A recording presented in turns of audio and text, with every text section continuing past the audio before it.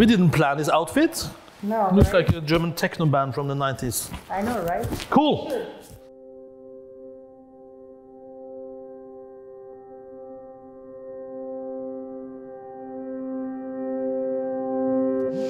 So, welcome, uh, Kenneth. So, you are today an artist on the uh, rise of in the international art scene. You work with excellent galleries in Norway, in Germany, uh, actually in half of the European countries, uh, from what I've understood. You have now a solo show in France and uh, then you work in Switzerland as well, but as well in USA as much as in China. And uh, so tell us instead about your first step in the art worlds. How were they? What brought you to the art worlds? Yeah, I don't think I never think about being into the art world. It's like uh, you work in a studio and you make your brand and a thing and you're trying to understand something, and then suddenly it flows around with so many interesting people connected to this. So I don't feel like, oh, I'm really stepping up something now. It's it's never my thought. It's more like uh, being surrounded by people who are professional, interested in art, and uh, makes my goal getting higher and higher. And uh, th- the best part of this is actually that as higher you get, understand me right, this word higher, the more humor, the more interesting people are, the more relaxed they are, the more into the really into the spot of the art it's uh, getting more and more focused. So uh, when it started, I don't know, it little came by uh, the thief during the night, but I, think I had never had any ambitions of getting out of Norway as an artist. Never. You don't. So that came by surprise. Uh, maybe I just saw suddenly one day, oh, here's a chance, here's an open field. Why not try to walk that one instead of following the normal setups and the normal groups of people who decides all the things and just like, I just go. In your painting, the subtle, uh, subtle psychological tension and the latent noir atmosphere are the first things standing out. Uh, uh, what are you saying to the world with it? To the world. Ah, to your uh, viewer, to, to your public, to your I- I've been a-? I've been a teacher sometimes way back, and I always told my students the world doesn't care about your work. Take it easy. I mean, if you think you're painting for the world, do something else. So, point one, I'm not talking to the world, I'm talking to myself. I'm not always. All else would be very arrogant.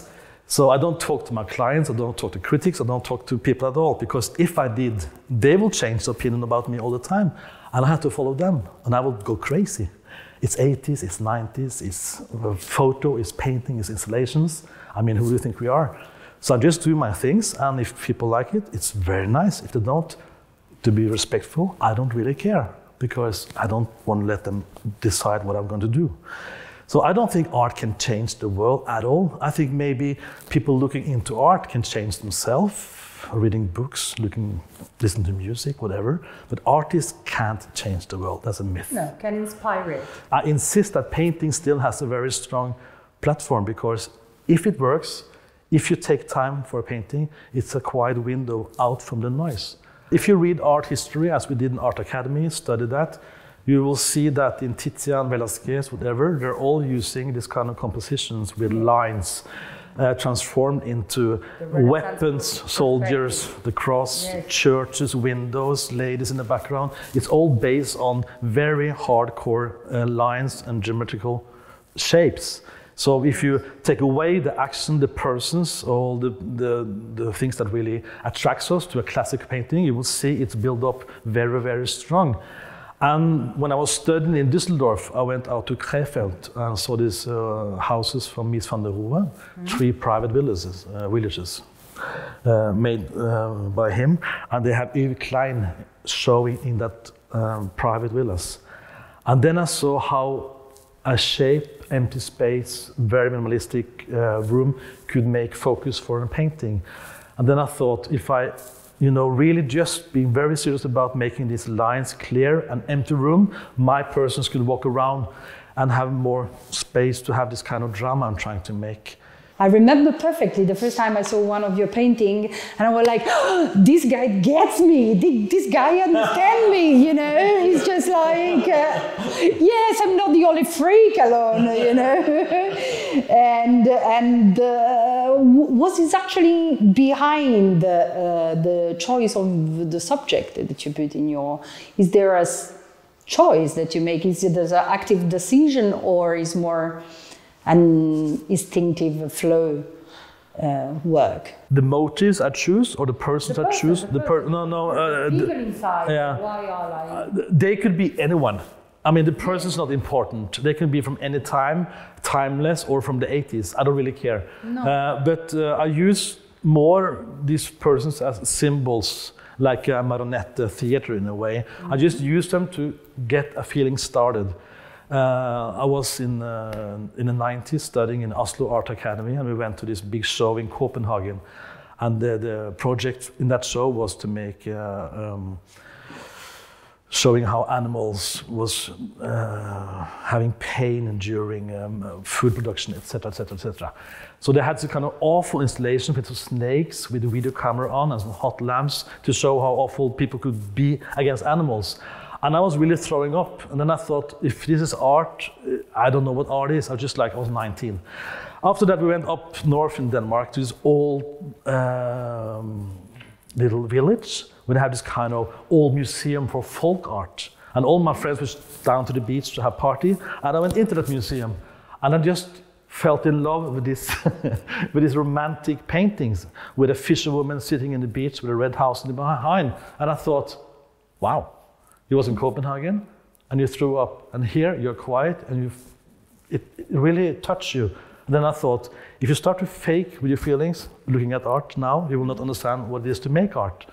So since that, I've been insisting on, for me, that in that kind of boring stage, with this fisherwoman, classical kids sitting there, there you can really make something out of it because it's so obvious, it's so banal, but in that shape, in that canvas, thing can happen for me. So I insist since that time, 1989, to keep on working with my persons.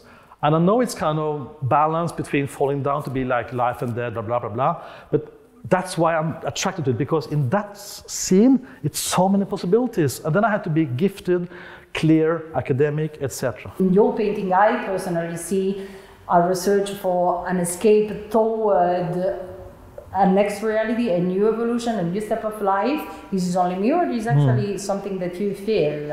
Uh, no, interesting to hear that you say that because painting should have a story which continues with you as an audience. Yes, So I haven't put that into my painting, but when you say that, I can see that that's a possibility.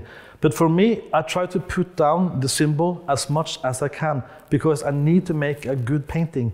And if I get too obsessed about the symbol of the guy running away from his life, etc., I will follow for the for the symbol in art instead of making good painting. Let's talk a little bit about the water, since uh, you, we, we find again in your images uh, uh, the swimming pools, of course, immediately comes up the mind uh, the, the painting uh, from Hockney with his women. Who is that? Hawk. Hockney. Sorry. I'm sorry, I was like, even listening to you. Like, you don't know David Hockney. ah, Get out. ah.